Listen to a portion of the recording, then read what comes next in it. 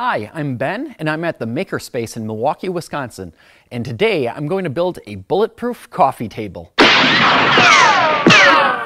This project was inspired from finding a really cool piece of salvage. A couple of years back, I was working construction and I was working remodeling an old bank branch into a dentist office. So my job one day was to take out the drive-through.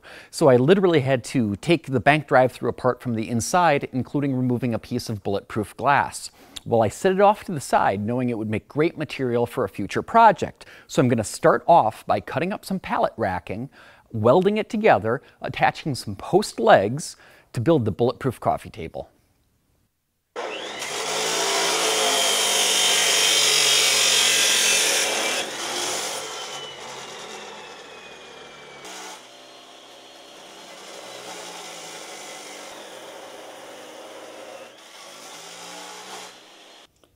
Okay, so here's my bulletproof glass, and then on the floor I have uh, the main parts laid out. I cut four sections of the pallet racking uh, to the size that fits around the bulletproof glass.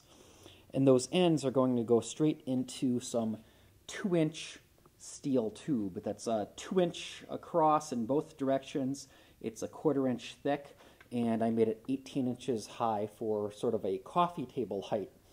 Now, one thing that I got to watch out for here is that these pieces are not quite two inches across. They're actually, they're pretty close to three, which means about an inch of it, I need to have a bevel. So I'm going to have to cut this one like this and this one like this because otherwise they can't go together. That middle bit um, is getting in the way. The other way I could do it is to cut a notch. Now, this is right side up right now, so these pieces will actually be up here, and this lip is what the bulletproof glass is going to sit on. So here now I've got the table tack welded together, so I've got the four legs and the frame. I kind of clamped it all to the glass to uh, get the tack welds done, and now that it's together, I'll do the welds properly, and then after that it'll be a matter of uh, cleaning up and painting.